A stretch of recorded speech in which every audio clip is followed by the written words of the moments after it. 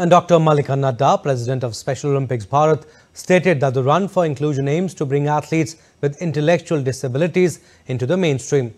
In an exclusive conversation with DD India's Narayan Singh, she affirmed that Special Olympics Bharat is fully committed to enhancing the welfare of special athletes. Right now I am joined by the President of the Special Olympic Bharat, Dr. Mallika Nadda ji.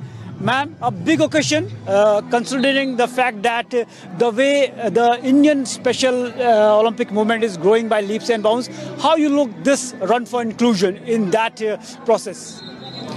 Special Olympics Bharat is a sports federation working for the intellectually challenged athletes across the country. Today, the Run for Inclusion is organized with the motto to include everyone in the mainstream of the society. We have 100 school children who are participating in the Run for Inclusion. Along with the school children, we have more than 1,000 special athletes who are part of this Run for Inclusion. So how the concept of the unified events is helping the cause of the Special Olympic Bharat and uh, at the world level also? Inclusion is the key word today.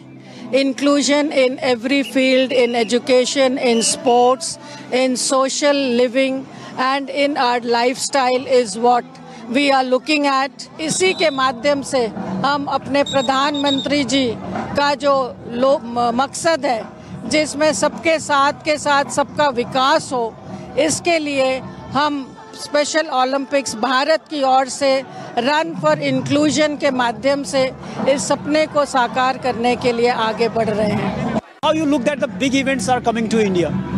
First time in the history of Special Olympics Bharat, we are organizing regional game, Asia Pacific regional game, bocce and bowling, where 12 countries are participating. Each and everyone come to cheer our special athletes, motivate them, and include them in the mainstream.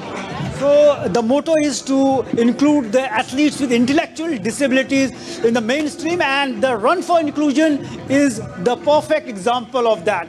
With camera person Piyush Narayan Singh, DD India, Delhi.